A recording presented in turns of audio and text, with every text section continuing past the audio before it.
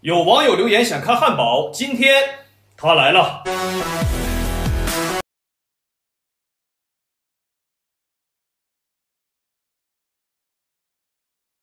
这只生产于二零一五年的非洲牛香头蛙，身长二十三厘米，重达两斤半。你看它，大肥蛤蟆，前爪内八，小号鼻孔，大眼八叉，宽大嘴角，四层下巴，超厚肚腩，雷霆嘎巴，四爪驱动，日行一米八。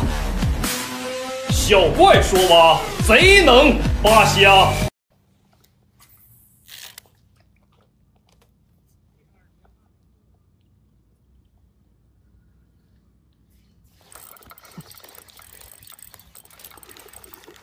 哎呀，小样儿的，来吧，宝贝儿。哈哈，挺大。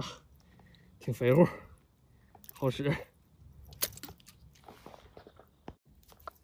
动啊，配合点哎妈呀，戳着眼睛了。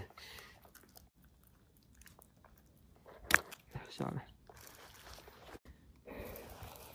哎，给你们看看我钓了两个小时的鱼货，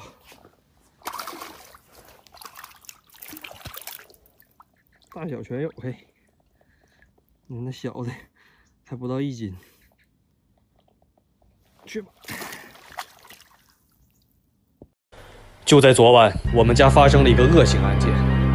我临时装鱼的盆子被翻了过来，并且这个养鱼的盒子里面唯一的一条大鱼竟然消失了。我在找线索的时候发现，嗯，这里居然有两个非常凌乱的爪印。到底会是谁呢？哎，汉堡，你在这干嘛？不对，汉堡为什么会出现在这里？而且他的嘴上为什么会挂着鱼鳞？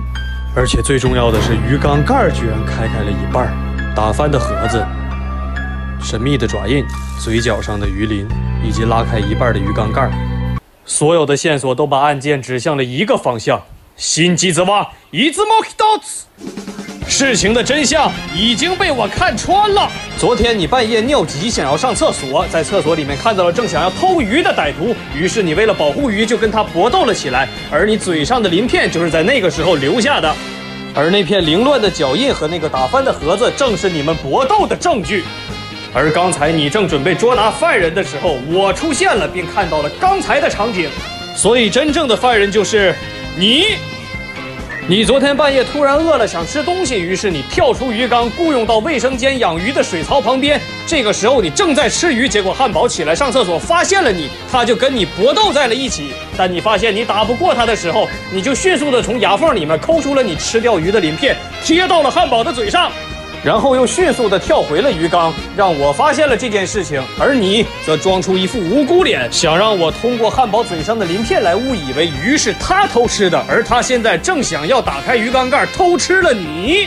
而你万万没有想到的是，看穿真相的正是我这个外表看似吴彦祖、智慧却过于常人的名侦探王小怪。这次我暂且既往不咎，如果还有下次再让我发现的话，我就把你捞出来喂汉堡。说到做到，你最好给我记住喽。哎，对了，汉堡，你跟他搏斗了一宿之后，不仅没有瘦，怎么反而还胖了呢？这大肚子，好像吃条大鱼似的。你这什么体质啊？跟人打架都胖。